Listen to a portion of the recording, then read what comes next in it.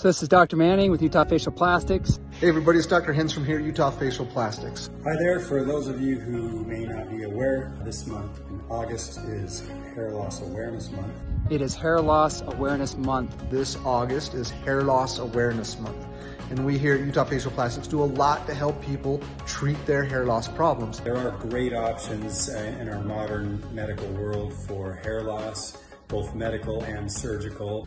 Not only can we restore hair on top of your head with medications, with FUE transplant, with FUT transplant, we can also restore hair into the eyebrows and the beard. We want you to know that there are options available to you. So if you've thought about in the past doing something for your hair loss, please come in and see us this month. Our hair is a big part of our identity. It's a big part of the way that we present ourselves.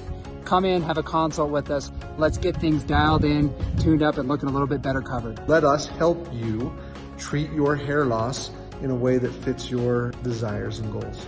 If hair loss is something that you're experiencing, either male or female, give us a visit. We can talk about different options and um, maybe you'll realize there are a lot of great possibilities out there that you weren't aware of.